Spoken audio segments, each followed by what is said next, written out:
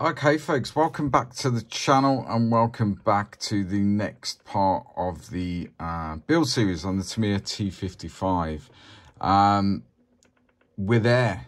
Uh, so I thought I'd show you at the start of the video and then we'll go into how we've achieved all this stowage around the back of the turret here.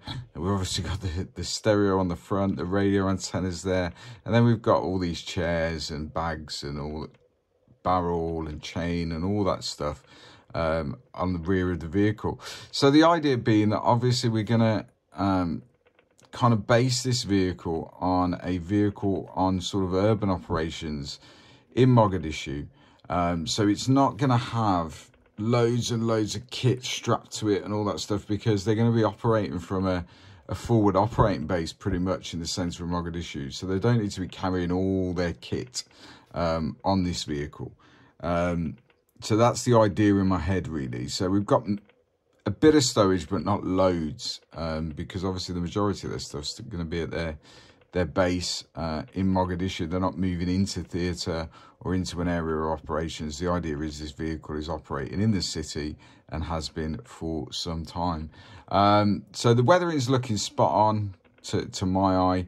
Um, and the stowage really sets it off and, and more of these sort of brighter colours than that traditional military stowage that we would normally do on a tank.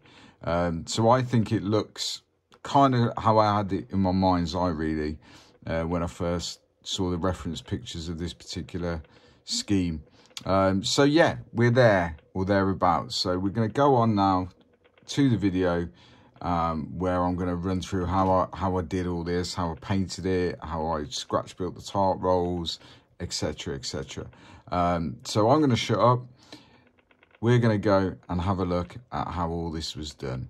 Um, so yeah, I'll see you in a minute and uh, show you how I did all this.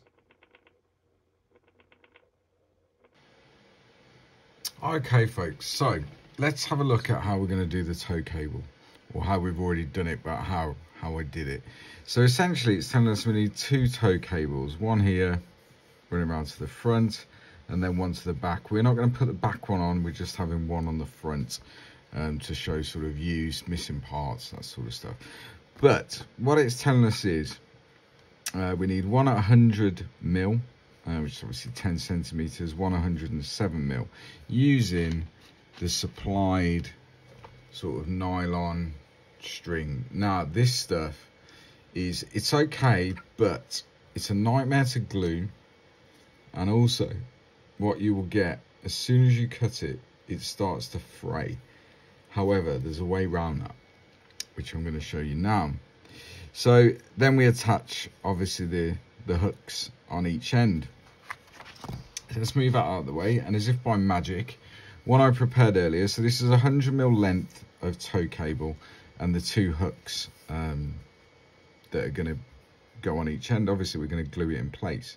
So the way we're going to do this is we need to strengthen this and we need to make it so it doesn't fray and it doesn't, um, so it's easier to glue essentially.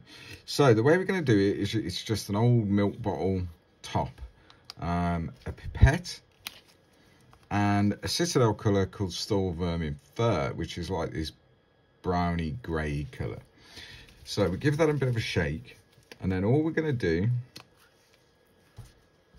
is get our pipette, and it's very, very thick, this stuff, so bear that in mind. Get the pipette and as best we can because it's incredibly thick paint and we don't need a lot so we're going to pop that into the milk bottle top or any sort of plastic uh, dish or some of the metal dishes that you can get. Then what we're going to do is just a cheap pair of tweezers tweezers you don't mind getting paint on and we're going to pop this into the milk bottle top and we're just going to cover the entire piece of nylon with the paint like so. And you can use you can use any color you want. Um, I find this color is a nice color because it's not silver um, but it also once it's weathered it has some sort of metallic steel type color to it. Um, so it works it works quite well I think rather than that kind of clean shiny silver metallic color so make sure the entire thing's covered in the Stormvermin Fur and then get a piece of kitchen roll or tissue paper or whatever on your bench and then take that out. Because once this dries you don't want it stuck in that milk bottle top um, and because it'll be a nightmare. Then just get another piece of, of kitchen paper and just dab off the excess paint from the tow cable. And it's as simple as that. So what we're going to do now is we're going to let that dry completely. And then once it's dry it will be firmer it will be more malleable. Lost a hook there. It'll be more malleable um, and it gives us a good basis. We can then glue it into the hooks etc and the kind of look we're going for is as you can see on the hole there that's what we're going for. And I'll show you how how to do that um, so that's the the tow cable um, that we we'll put that to one side let it dry while we work on some of the other other bits of stowage and show you how we did those. Okay. So I'll be back once this is dry. Okay so tow cable is now all dry we've got a little bit of white still showing through where it's been resting but that's not a problem um, so it's all dry now so what we need to do now as you can see it's quite malleable um, which it certainly wasn't before, and the paint helps with that. Um, so what we need to do now is we need to glue that into our sort of tow hooks. Um, and the way we're going to do that is just use a little bit of CA glue, but we're going to use the gel type. Um, so I'm going to be using this Loctite super glue. It comes in the applicator bottle. Um, and it's kind of the gel type of, of CA glue rather than that very thin, runny CA glue. So we're just going to put a drop of the gel. So you just squeeze the sides of the bottle here. This one's coming to an end, so we have to put quite a bit of pressure on it. And you can see there, we've got that CA glue in there. And then we just place our tow cable. So if you put that on a flat surface, cutting mat's ideal. And then use a, a toothpick or a cocktail stick, depending again where you are in the world and just push that into place like so and that is so much easier than trying to glue it when it, it's the the unpainted nylon. It, it's an absolute nightmare with fraying and all that stuff. Remove any of the excess glue and then just let it dry basically. And as you can see that's that's in place now. We've got a little bit of glue squeezing out there. It's not a problem. Just remove that. Try and keep your fingers away from the actual CA glue until it's cured. And there we go. It's as easy as that. Um, dead, dead simple. Um, and it makes life so much easier. Um, so then essentially you can then paint that any way you want. So if you want to do it a high metallic color or you want to put a wash on it and then dry brush some metallic you can paint the tow hooks whatever color you want like a dark steel it doesn't really matter but that's essentially how we've done it um, and then added it to the hull of the tank stuck to there. Added it to the hull of the tank and I think it looks it looks okay. We went with I think that was Leadbelcher from Citadel with a normal oil wash um, just to darken it down um, and give that kind of steel look rather than this bright metallic silver. Um, and I think it's it's worked. Um, so yeah that's how I do it basically with the the nylon. Um, so have a go at it see what you think. Let me know in the comments if it works for you. Um, so yeah that's tow cables Okay, folks, so let's talk about the boxes, uh, whether they be boxes of water, soft drinks, rations, etc. So these particular ones here uh, are from a Trumpeter 35th scale Stryker.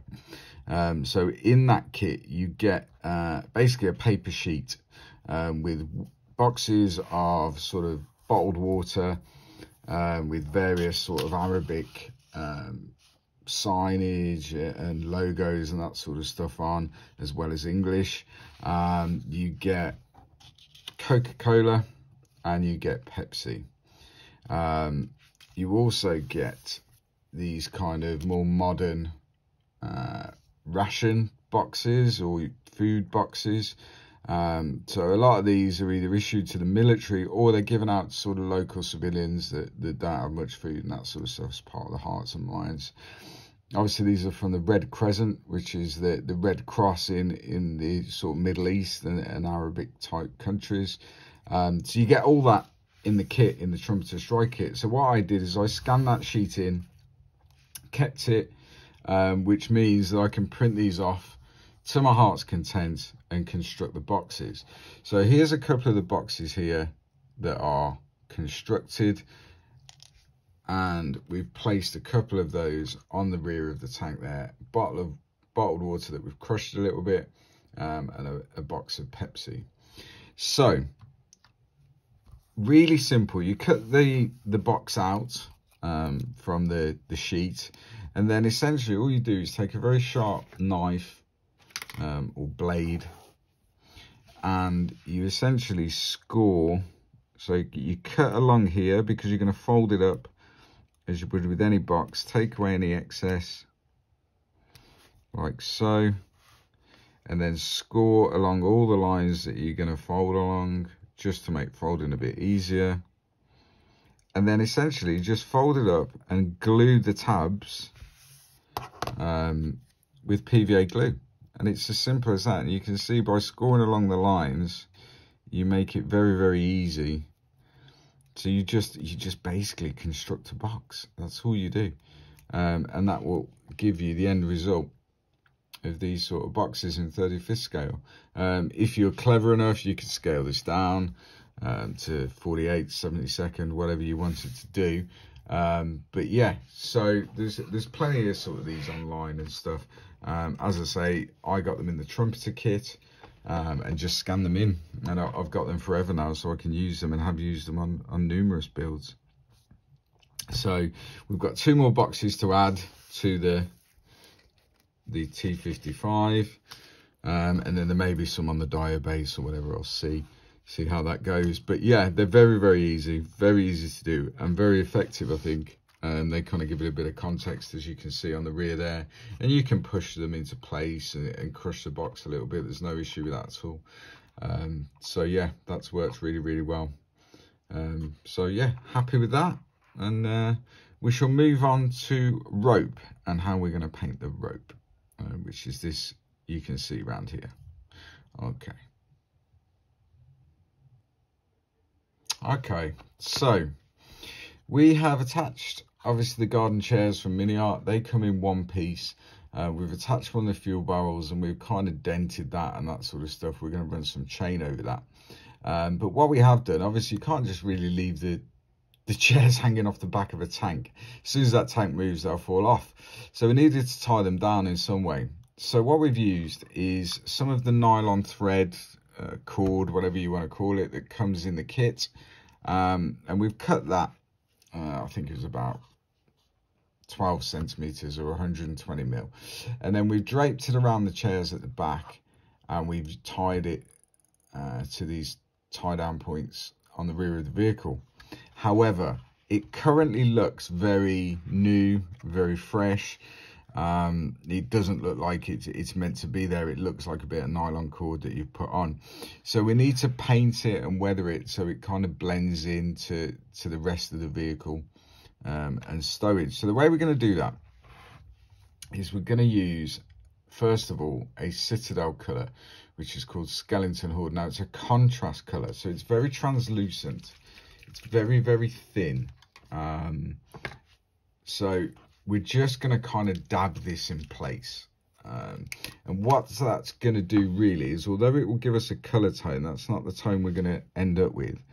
What it's going to do is give some structure um, and some coverage to the nylon cord that will then allow us to much easier to, to apply paint to it.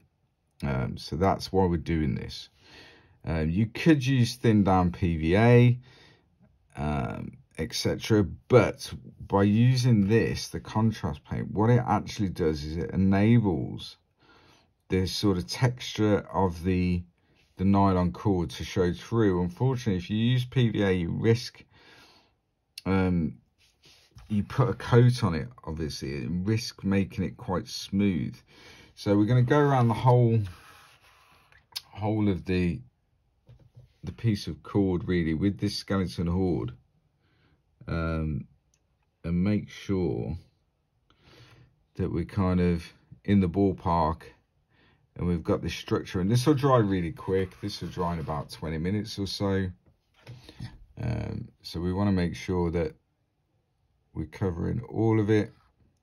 If we get a little bit on the hull it doesn't really matter because it's so translucent um, that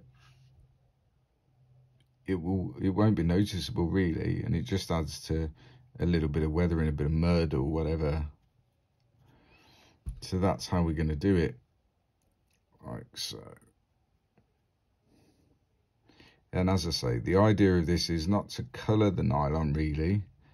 We're not painting it as such we're just adding the first tone the first shade and to give us a, better surface that paint will adhere to um, when we come to do it. Um, so yeah, I'll get this finished. Uh, we'll let it dry and then we'll come back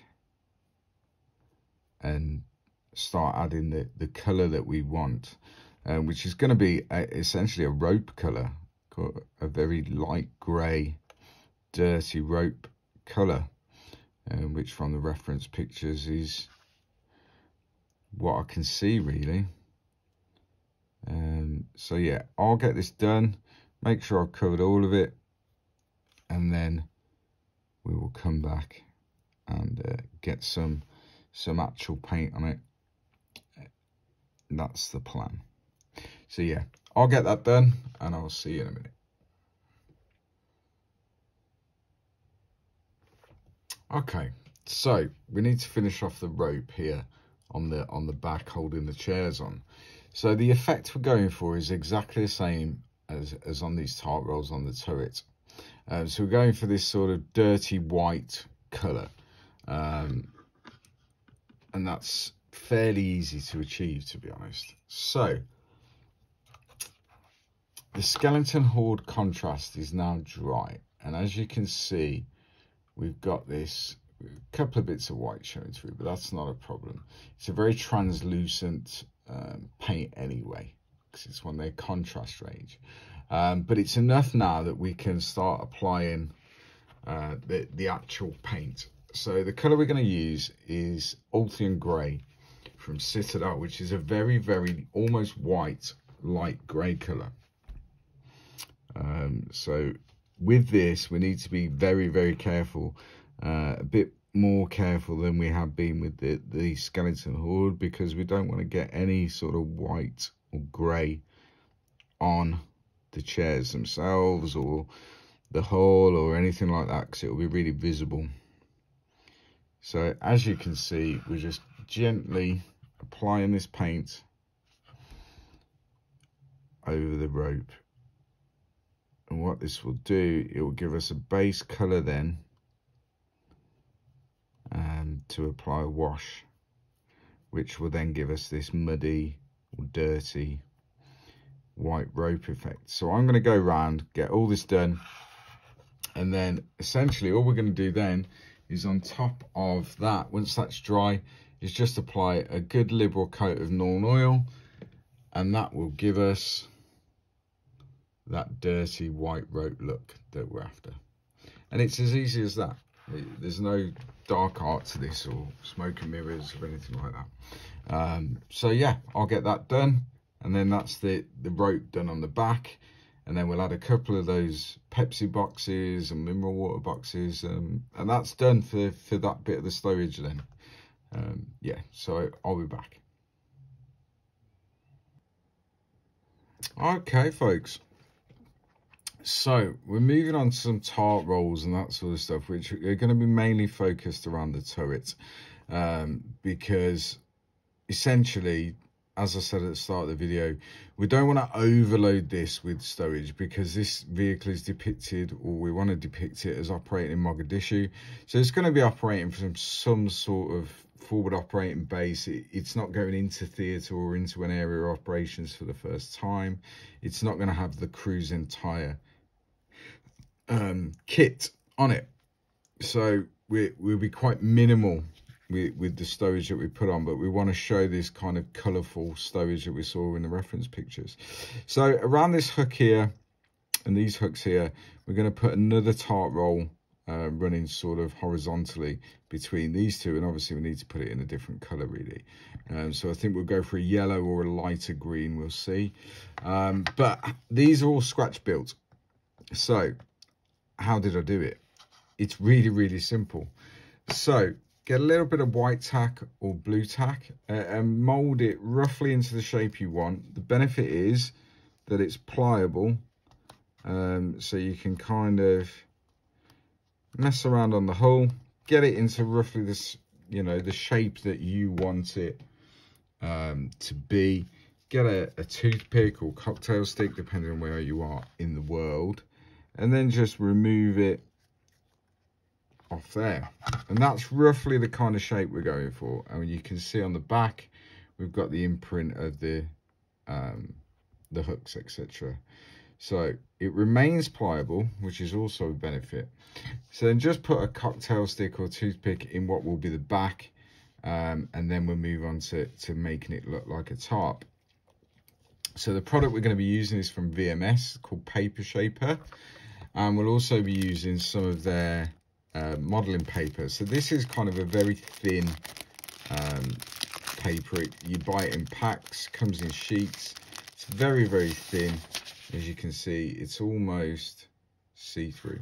Um, it's not as thin as like tracing paper or tissue paper. It's got a bit more structure to it than that. But it is uh, very, very thin.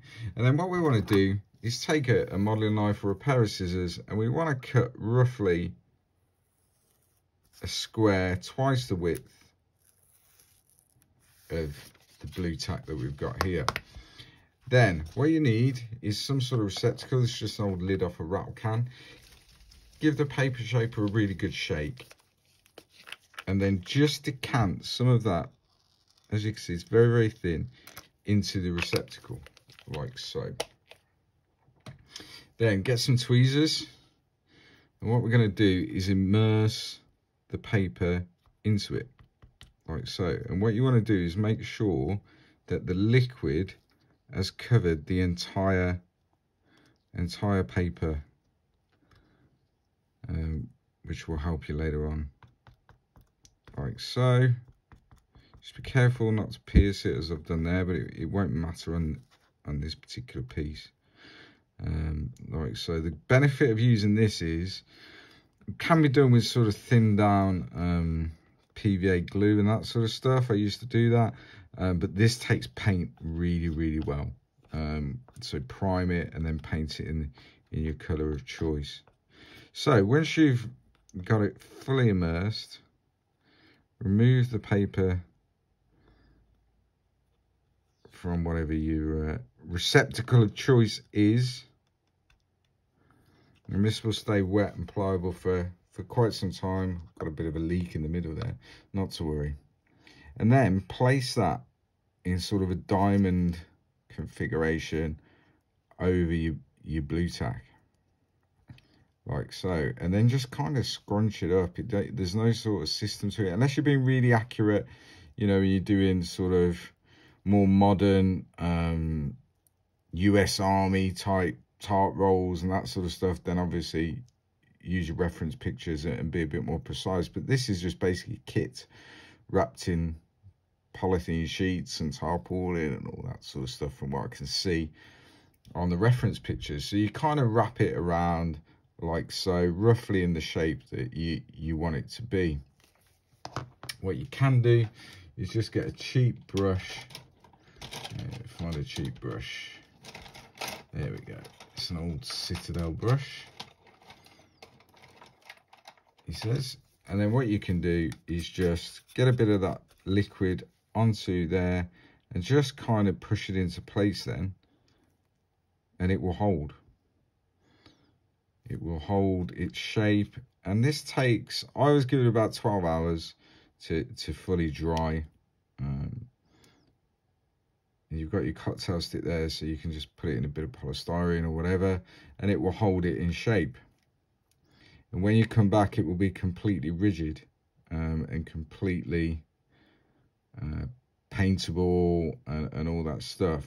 What will happen is because we're using it on the blue tack or white tack rather than sort of Milliput or green stuff or anything like that that will never dry completely solid so when you come to place it onto the vehicle, it will still allow you a little bit of movement. So you can, particularly when on the turret here, where we're going around like a curved surface, it will allow us to, to mold it to that. So give it a more natural, natural look as it conforms to the, the shape of the turret. And that is as simple as that. So what we need to do now is we need to let that dry completely um, and then what we, we will do is we'll come back, we'll paint it in whatever colour we choose. Um, and then we use a bit of CA glue to stick it onto, um, onto the hull itself.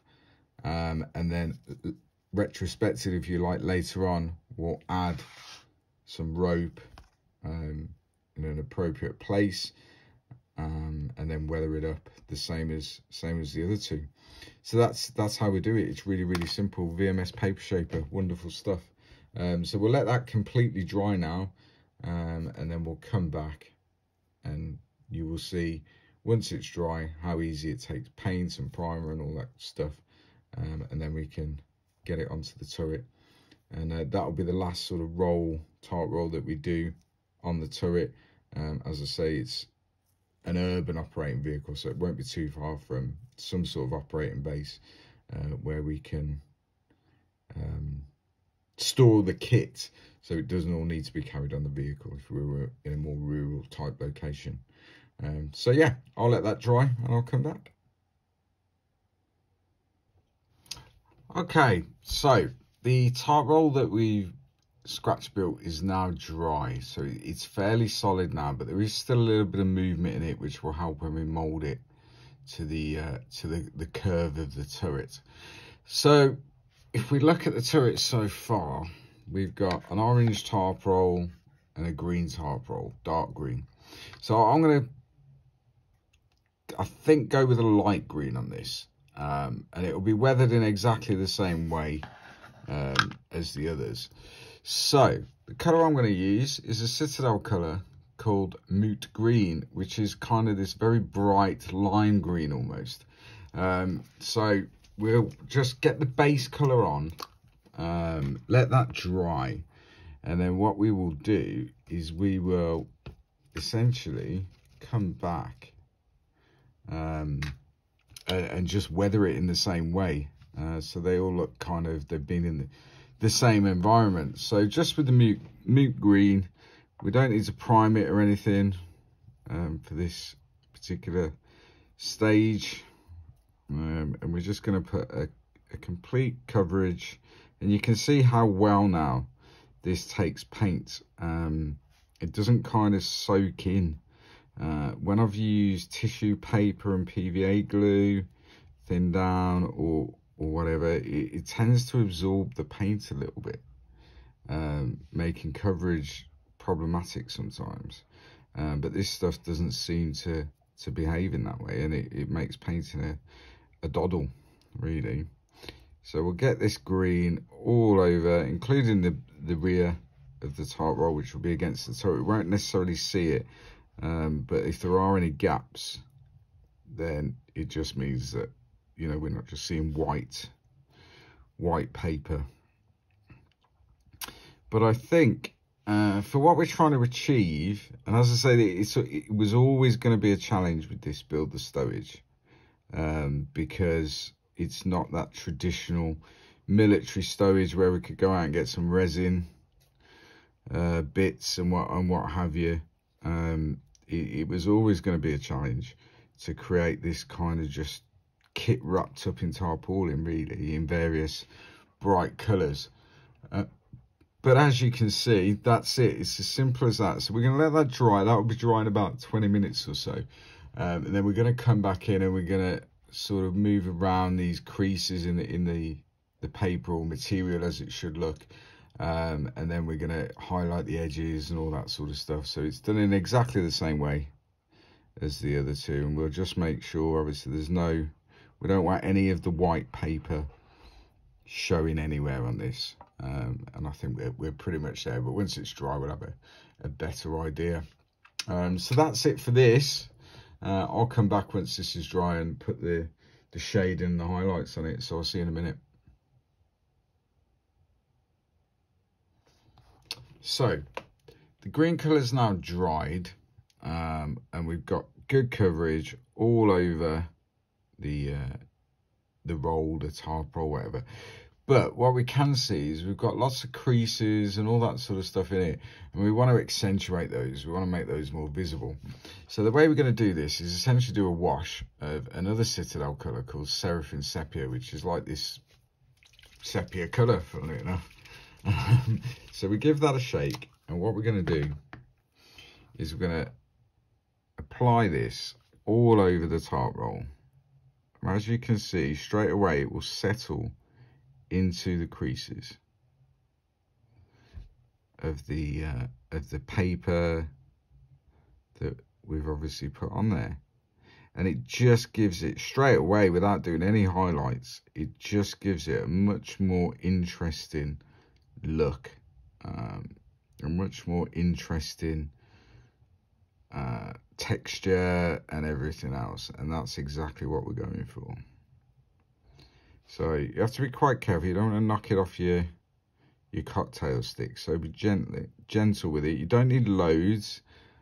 Um, it will cover really really well. The coverage is excellent uh, as with all their sort of shades. Um, and again it will take it's acrylic based so it will take no more than sort of 20 minutes to dry. And then what we'll do, we'll go in and we'll just do a very simple highlight um, and dust effect. The same as the others. So that's it. There we go. We'll let that dry. Um, and then we'll, we'll apply some dust and some highlights to it. And then we'll get it onto, uh, onto the turret and get it in place. So uh, I'll be back in a second. Okay, so as you can see, that Seraphim Sepia wash has dried now.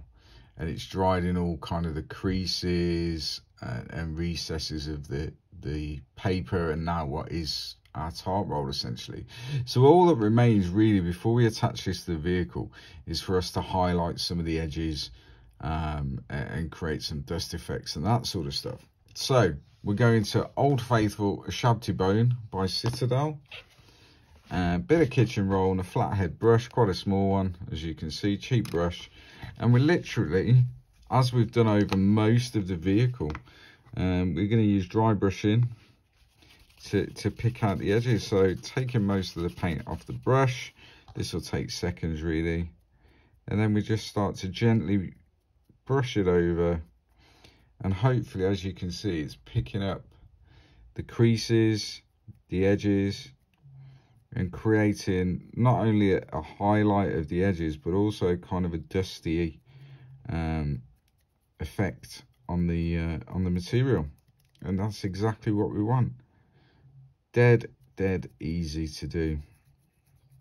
I mean you could go round if you wanted um, and pick out all the edge highlights for the base color. You could build up, you know, light in each layer and all that. You could do that, absolutely. Um, but for the purposes of this and what we're using it for, it's a lot of time for, for not much effect, really. Uh, so this way, I think it looks as good as we need it to look. Make sure we got our lid on the paint before we do this. So if we get the turret now, um, and what we want, so on the rear of the turret, we've got that hook there. Let's point that. So we've got this hook here, and we've got this this one here. Um, so what we want to do is we want the the roll the other way around. So that bit of material that's kind of hanging down, we want that over those two hooks really in that sort of position. Now the benefit, as I said, of using the Blu Tack to do this, if I put a little bit of pressure on that with my finger and thumb, we can contour that now to the, the shape of the turret and get it in exactly the right sort of position that we want it, um, which is there ideal. Now, what can happen just there as you start to push it into place, you will get a bit of white showing through. That's not a problem. We just touch that up. Um, it's, it's really not an issue. So we're kind of happy with that as it is. And what we're going to do now is just glue that into place. So we can take it back off. Try not to move the um, the shape of it at all and then we're just going to add a dab of CA glue gel there and there. And then we'll place that back on. And you will have the imprint of the hook like so. And there we go. And we'll just let that dry. And then what we will do is we'll just come back in once that's dry and just touch up that bit there where we've got the white coming through um, and then we'll add the rope in exactly the same way as we've done on the rear of the vehicle, no different. Um, uh, and that will look like the other tarp rolls then tied onto the turret. Simple as that. What we need to do as well is we'll get one of these Pepsi boxes that we made and we'll just rest that on there on the on the turret there so again little dab of ca glue on the other side of it and then that will sit. Oh he says all fingers and thumbs today. That will sit on top of the top roll. There we can crush it a little bit because it would be it wouldn't be perfectly square. Um, on the back of a T55 turret it's going to get bashed about a bit like so. And then if you need to you can come in with your your cocktail stick and just readjust it and get it into the kind of position you want, which is obviously down to yourself. And then if you've got any excess glue squeezing out, just remove that with the tip of your toothpick. Job done. And that, I think, will do for the rear of the turret. We'll just add the rope onto here, touch up that little bit of white, and, uh, and we're there for the rear of our turret. Simple as that. Okay, so time to do some chain. So the chain I'm going to be using is from Fields of Glory models. It's 3 by 2 mil, and you get almost a meter in length. This sort of stuff will last you ages. Um, unless you're doing like massive chain link fences or, or, stuff like that. But it will last you a long, long time. Um, it comes in kind of this brass colour here. Um, so what we're going to do is we're going to take a little bit of white tack, Blu Tack, doesn't matter. Like so, just on a bit of old cardboard, just an old piece of polystyrene. And we're going to place a mixing cup or medicine cup on there. So it's nice and stable. Then what we're going to do is we are going to use some Ultimate Modeling Products burnishing liquid, burnishing fluid, however you want to say it and we're going to decant some of this. We'll use a pipette just for cleanliness sake so we'll just give it a bit of a stir. And we're going to decant some of this into our medicine cup. We need a fair bit because we want to submerge the chain in the cup So we're probably going to use four pipettes worth, which are going to be about 8 mil, between 8 and 10 mil, really. And then all we're going to do is get our chain. It's, I've cut a length off, uh, whether we actually use all that or not, um, and just put it in the burnishing fluid. And straight away you can see straight away it's starting to kind of change its its its color um, and it will come out as this sort of black worn uh, chain. So we give that about hmm, I don't know half an hour 45 minutes. Then we'll take it out onto a piece of kitchen paper and just dry it off. Um, and that's pretty much it. The chain's done and then that will be added to to the vehicle. Um, and the idea is where we're going to add it let's move that out of the way. Where we're going to add it is sort of here in a bit of a pile draped over the barrel and potentially draped over this rear rear bit here. Um, but we'll see how that how that goes. Um, so yeah that's it really. It's as easy as that using the the ultimate modeling products burnishing fluid and that will give us the effect we want on the chain without having to resort to any sort of paint or anything like that. So that's that and we'll drape that across the back um, yeah and, and, as you can see we're getting there now with the stowage. So uh, yeah i'll be back in a sec.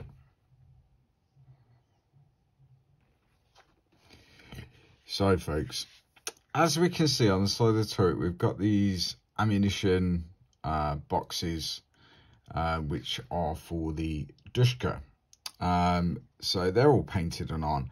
I'm going to show you how I did that. It's really, really simple um, because we've got this one which needs to um, go into the Dushka itself. Um, so other than the strap, which was just done in German grey, the, the green and everything is going to be exactly the same technique. Um, so the way we painted this, really, really simple, is we used Vallejo colour or model colour olive green. Um, so you just decant that into a palette, give it a bit of a shake. These are really, really good um, brush paints. Um, they works really, really well. Thin them sort of 50-50 with water um, and, you, and you're good to go straight from the bottle really you don't need to add any additives to them or anything they're very quite hard wearing as brush paints i've never got on with them in an airbrush um, but as brush paints they're they're great. So we just start to put on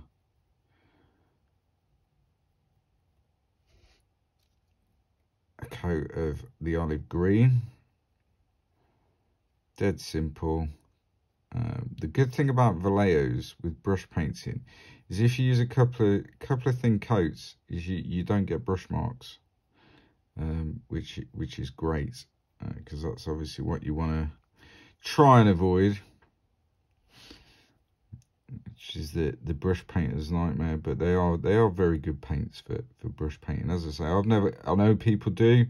Uh, they do the model air, they do game air, they do game color lots of different ranges lots of different colors um, but I've never got on with them through an airbrush whether that be the model air game air just never uh, never got on with them but for brush painting they're one of my go-to's for sure. So there we go. So we get the green on. Obviously we're trying to avoid the the feeding mechanism um, but if we need to touch that up afterwards we can. Uh, that's going to be sort of a dark grey black colour. Uh, we just want to get this base green onto the actual ammunition box as such um, it's got a little star on it obviously being Soviet in manufacture in the middle um, as you can see there but we don't really we're not going to worry about that too much. Um, so yeah and that's it. So we get that base color on and then what we're going to do is we're going to shade and highlight this in exactly the same way as we did with the tarpaulin is we're going to use a seraphim sepia shade and then we're going to dry brush over and actually accent all the edges and the detail with Ushabti bone so I'll let that dry about half an hour. Um, and then we're, we're good to go. So that's your base colour over UMP black primer. Very, very nice green.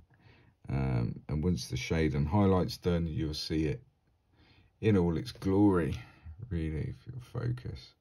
Um, but yeah, looks a bit rough and ready at the minute, but trust the process, definitely. So I'll be back and uh, and we'll get get the shade and highlight on that. See you in a minute. So I've put the the Seraphim sepia on exactly as we did with the tarp rolls, etc. You can see it's dulled down that colour quite a lot and it's left some sort of residual dirt and grime uh, on the uh, on the detail on the on the ammo box there. Um, so all that remains now, again, Old Faithful, Ushabti bone, and we're just going to dry brush around the edges and the details just to bring it back. Bit of a dust effect and also a bit of a edge highlight all kind of at the same time. It's exactly how we did the other the other ammo boxes. Um, so we've got no no difference at all in the way we've done those. So as you can see, straight away, it starts to bring out that detail all around the edges, um, like so, and gives it this dusty um, appearance, which is exactly what we're after. Make sure you do both sides. Whoa, flicked it away. So yeah, make sure you do both sides, uh, front and rear, essentially. And there we go. It's as simple as that. It really is. so simple. And yet, I think, very effective. So you will notice on this bit here, there's no paint, and that's going to be the bit that goes into the Dushka itself. Um, and we don't want to be putting extra thin over paint, really. Um, can affect the uh, the bond that we get. So we grab our turret, and this will fit all being well, into the side of the Dushka there. So what we will do is get a bit of extra thin and we'll place that inside the, the hole there, like so. And then we just need some tweezers.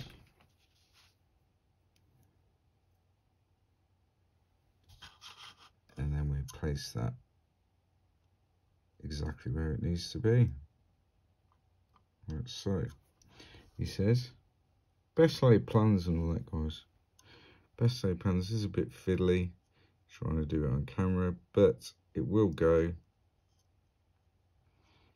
Just push it home gently because you don't want to knock the dushka off its mount. And it is as simple as that. And that will set in place. And there we go. We've got the ammo crate onto the Dushka itself. If there is a bit of paint or whatever that's missing, you can always go in and touch that up. And our Dushka should move on its on its bracket um, without any any real issues. Um, but yeah, simple as that. Job done. So yeah, that's the uh, the ammo crate done. Um, so we'll we'll get all this together now and then we'll have a look at the finished tank um, with all the stowage in place that we've covered during this video um, and hopefully that will give you some ideas of how you can do something similar or you know the same if you're doing African Union type armor um, but yeah we're, we're pretty much there now uh, we have put an antenna on uh, we just need to touch up the basement so that's dry and that is essentially stretch sprue. That's all it is. There's lots and lots of videos on YouTube showing people how to stretch sprue. It's an old school technique, but for making antennas, um, it works fine. I'll get all this together and then I'll come back and we'll see all the stowage in place, how it looks, if we need to add anything else, or are we happy with, with where we're at. So, um, yeah, I'll be back in minutes few. Okay, guys, so that's it. It's all done as far as stowage is concerned. Um, so we've added all this stuff, tarp rolls, rope, antenna, the dushkas on there now. We've got all this stowage here at the back with the garden chairs and the chain. Um, the, the external fuel drum that we've painted in sort of more of a civilian type scheme, tow cable is on. And yeah, I think it's looking pretty good, to be honest. It's kind of what I had in my mind's eye. Uh, we're not going to bother putting the side skirts on. I want to keep the tracks kind of exposed so we can see those. Um, so that's it. That is the vehicle pretty much done. Um, there may be a few odds and sods of weathering um, once it's on a base just to tie it in, but we'll see how it looks. Um, but pretty much the vehicle is done. Um, so now the next video, uh, it may take a couple of videos, we're going to move on to the base itself. And what we're trying to do is just place this vehicle in Mogadishu in an urban environment. Um, and I'll show you how I plan plan on doing that. Um, but yeah, that's it. It's it's really, really simple. Um, hopefully you've picked something up from the video, um, whether that be technique or ideas or whatever. Um, if you have, let me know in the comments. Um, don't forget to go and visit umpretail.com. Go and visit emodels.co.uk. Um, all the other videos up to this stage are now out. They're on the channel. So go and have a look at those, how we painted it, how we weathered it, how we damaged various bits and all that sort of stuff to give you an idea um, of how we've got it to this stage if this is the first video in the series that you've seen. Um, and if you go right back to the beginning to the kind of introduction, um, it will show some reference pictures of this sort of stowage and everything else. But for now, the tank itself is done. Um, so now it's a case of, as I say, putting it onto a base and then maybe some final bits of weathering to tie it into that base. But we'll see, we'll know more once it's on the base. Um, but for now, we're done. Um, so yeah, thank you very much for watching. Don't forget to hit the like and subscribe. And uh, I'll see you in the next part where we're going to be working on a Mogadishu street scene base for this. So uh, yeah, thanks very much. Till next time, stay safe, happy hobbying. Bye-bye.